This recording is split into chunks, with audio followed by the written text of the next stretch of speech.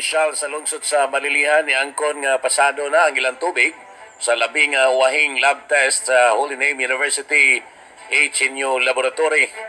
Inugyanan sa Department of Health Region 7 ni Sulti atol sa sesyon sa Sangguniang Bayan sa Maong Lungsod nga igo na ang chlorination o wa na kinahanglan ang wastewater treatment plant o ang ah, treatment plant alang sa paglimpyo sa tubig sa lungsod sa Malilihan. At maliko na, igo na kunong chlorination o guwa na kinahanglan na ang water treatment plant alang sa tubig sa ilang waterworks system. Samtang richly water ni pasalig nga ang gitaod nga distribution line